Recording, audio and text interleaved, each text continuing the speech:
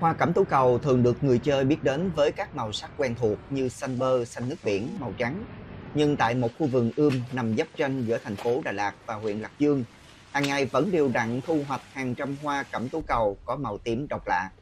Những ngày cuối năm, anh Lê Đoàn Đình Thắng, ngụ phường 8 thành phố Đà Lạt, lại tất bật hơn khi thị trường tiêu thụ hoa cẩm tú cầu ngày một tăng nhờ các sự kiện văn hóa tổng kết hội họp.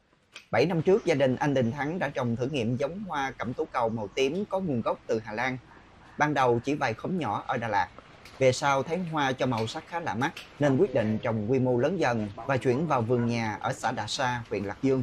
Tuy nhiên từ lúc trồng tới thu hoạch lần đầu phải mất khoảng một năm rưỡi nên không nhiều người theo trồng loại hoa này.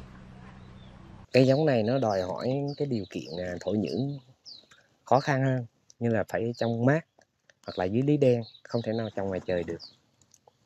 Rồi về năng suất của nó thì cũng thấp hơn, nhưng được cái là giá cả thì cao hơn rất nhiều lần so với tú cầu địa phương. Cũng theo kinh nghiệm của anh Đình Thắng, với điều kiện môi trường, khí hậu, thổ nhưỡng của Đà Lạt và Lạc Dương, cẩm tú cầu tím trồng khá phù hợp bằng hình thức dâm cành với mật độ 4.000 gốc trên 1.000 m2 Hiện nay, gia đình anh Đình Thắng đang trồng khoảng 3.000 m2 và cung cấp cho thị trường trung bình khoảng 400 cành một ngày.